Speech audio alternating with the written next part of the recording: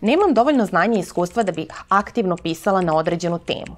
Ovde moram da vam kažem da vi ne morate uopšte da budete ne znam kakvi stručnjaci da, da biste tek tad smeli da krenete da pišete na LinkedInu. A 2017. godine ja sam radila u jednoj marketinškoj agenciji i tada nisam bila stručnjak kakav sam danas, ali tada sam krenula aktivno da kreiram sadržaj na LinkedInu i pisala sam o tome šta sam naučila u digitalnom marketingu, kakve smo strategije sproveli za svoje klijente, kakve je to dalo rezultate, šta nam je super radilo, šta nam nije radilo. I kada pričate o tako nečemu u vašoj oblasti, vi već polako krećete da se pozicionirate kao stručnjak u, u toj oblasti, iako zapravo vi još uvek učite, ali ljudi zapamte da vi govorite na tu temu, da delite korisne stvari, informacije koje radite, sprovodite i onda je njima interesantno da vas prate. Um, tako da slobodno krenite, znači uzmite neku oblast u kojoj baš uživate i uh, u kojoj imate neka određena znanja. Uh, nema veze ukoliko vi još uvek učite u tome i krenite da pišete o tome, jer uvek postoji neko ko zna manje od vas ako ga zanima